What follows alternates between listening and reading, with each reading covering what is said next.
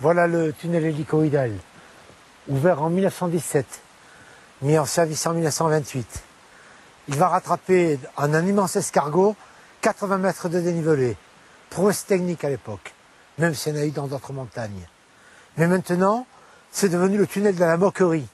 Le tunnel de la moquerie pour les gens qui disent que le camp franc ne peut pas réouvrir car les wagons se coinceraient dans ce tunnel vu que le gabarit euh, n'est pas assez important.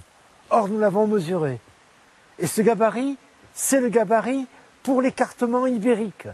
Car dans un premier temps, la gare internationale devait être à Bedouce. Donc, non seulement les wagons passent, mais les très gros wagons, les très gros gabarits peuvent passer.